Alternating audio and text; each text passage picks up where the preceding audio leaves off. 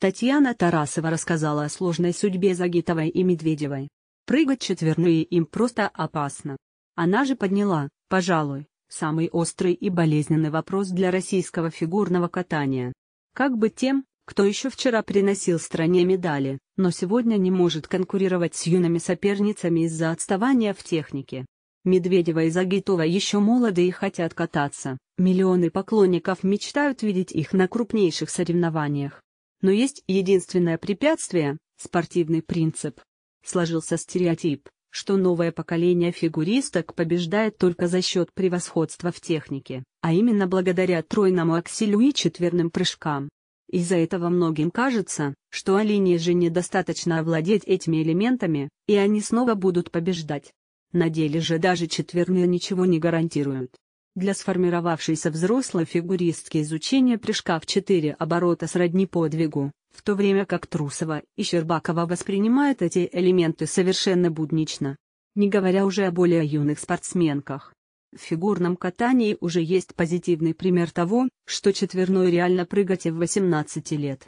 Именно четверной Сальхов помог Елизабет Турксенбаевой завоевать серебро прошлогоднего чемпионата мира.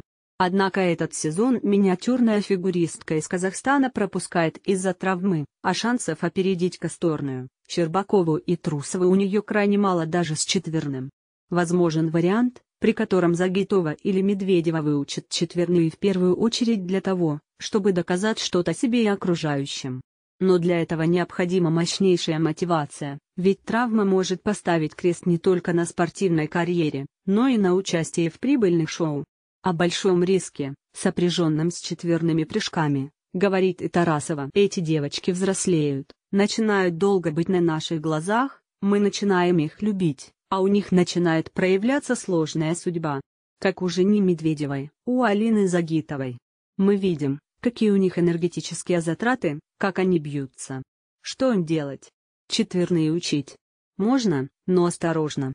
Потому что щиколотки такие тонкие, что может это все печально закончиться. Сначала нужно тело подготовить, считает тренер. Куда более реальная возможность для фигуристок дольше радовать болельщиков заключается в ужесточении возрастного ценза.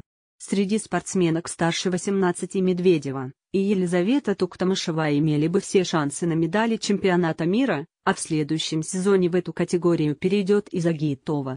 В таком случае осваивать четверные прыжки будет не обязательно, а даже один элемент ультраси станет заявкой на победу. Загитова и Медведева снова, как и в 2018-м, поведут борьбу за золотой Олимпиады, но при этом все будут понимать, что самые сильные фигуристки планеты выступают по юниорам. В конце концов для того, чтобы увидеть своего кумира на льду, есть многочисленные шоу. А на чемпионатах мира и Олимпиадах должны выступать сильнейшие.